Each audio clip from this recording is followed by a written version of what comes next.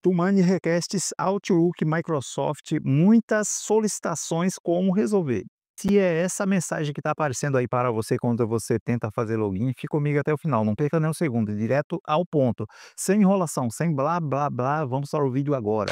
Ou aparece com essas letrinhas vermelhas, ou aparece Too many requests, que é muitas solicitações em inglês que alguém está tentando várias vezes fazer login em um pequeno espaço de tempo.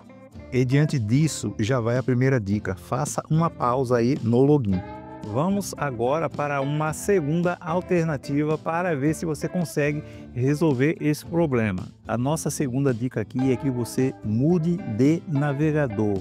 Quem sabe com essa simples dica você já consegue resolver de uma vez por toda esse problema que vem afetando você. Vamos agora para a terceira dica.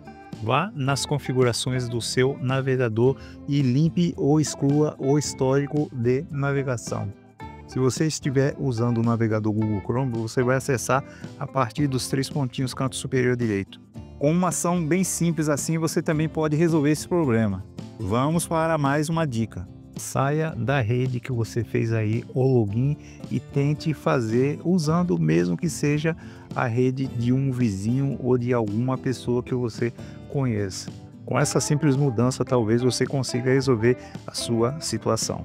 E agora vamos para a última dica que eu garanto que essa você vai conseguir resolver, pois muita gente tem chegado aqui nos comentários dizendo que resolveu esse problema fazendo esse passo a passo.